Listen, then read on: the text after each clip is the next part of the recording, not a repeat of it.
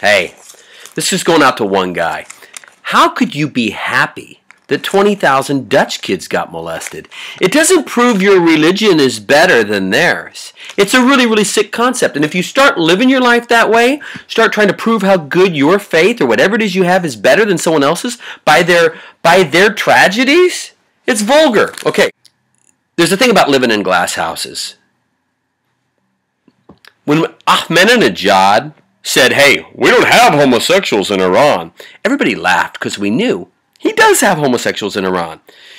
People shouldn't act as if they don't have molesters in their country, in their culture, in their faith. there are just as many Muslim molesters as there are Christian molesters as there are atheist molesters. It's the way humans are. Every group of people has sick men who want to rape little boys. they just do. And little girls and grown ups. anyway. So when you see this news, and I've had a couple people say, make some comment about how this confirms, you know, that there's going to be this wave of people that are going to go to Islam now because of how horrible things are and how wrong the Catholic Church or the Christians are. But the reality is, if you live in a country, let's say, let's pick, for example, Egypt or Saudi Arabia, where um, Saudi Arabia, especially, where things are very sacred. Um, I'm wondering, when you're in Saudi Arabia, can you speak up about molestations? Because if you're in Saudi Arabia or Egypt um, or any other country where it's not as open a society, more of a sacred society, in that sacredness, is there a safe haven for molesters? Because that's why the Dutch thing happened. That's why the Catholic Church thing has happened because there's an umbrella of sacredness where the sicko guys hide beneath this wall of sacredness where they're safe to play with little boys and rape them. And if these little boys say anything, these little boys are doomed. You have a friend of mine who's Egypt. I have a friend of mine who is Egyptian. He told me about a Saudi friend of his whose little boy was raped by the schoolmaster. He said that he got a doctor's notice saying that his boy had been anally penetrated, and he had witnessed, his son had witnessed it. he went and to, to the authorities in Saudi Arabia, and uh, um, because he didn't have what four or five witnesses, whatever was required, um, the schoolmaster was not prosecuted, and somehow the schoolmaster was there to witness as the father of the raped child was whipped in public. Now, I don't know if that actually happened. Tell me, do you think that really happened? My friend is a pretty honest guy, and the fact that he in Egypt thinks that happened says to me that it's probably not very open. You know, it's like he said to me, this friend of mine, he said, you know, we don't use the word cancer around here. I mean, you know, we don't say cancer. It's just not right. There's a whole bunch of things you don't say in some of these countries because it's just not right. But see, that that lack of freedom of dialogue, of free speech, means more secret molestations because the molestations are happening. They're happening everywhere.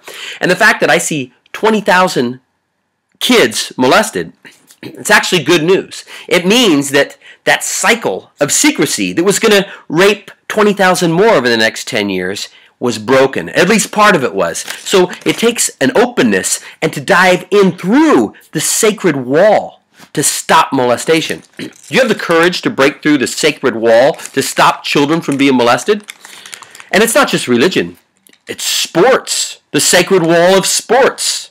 Um, that meant Sandusky raping kids, and because of some mental sacred wall, the kid the kid didn't get any help, um, and the guy continued to rape. See, there's only a certain percentage of people molesting, but when, like the Catholic Church, what they do, when they found out about it and they keep moving him from place to place, they took the situation and made times 10, times 100. So instead of one person molesting one child and getting caught, like a stepdad molesting a kid or two, and going to jail or prison, the guy gets away. And instead of molesting one or two kids, he molests hundreds. We had a guy here in California, molested like 800 kids in his lifetime. 800 kids! If we were open and we could dialogue about it, we could have stopped him when he tried his first time. Think of all the lives we could have made better. So, you shouldn't go around, whether we're talking about terrorism, they're the terrorists, we're not, they're the molesters, they're the pedophiles, we're not. Don't do it.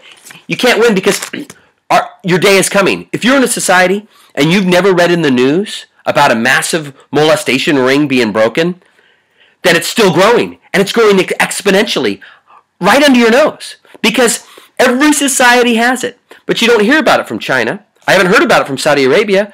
I've heard about it from America, the Dutch, you know, Europe, all these places because we have a free press. They can talk about this stuff. So instead of thinking, wow, those guys are a bunch of scumbags, look how horrible they are, think, ooh, we better take a look at our house. Um, it's about male domination. Um, it's mostly men. And uh, um, if you're in an area where men have opportunity, the environment is sacred or secret, and people are un, it is unsafe for people to speak out. Um,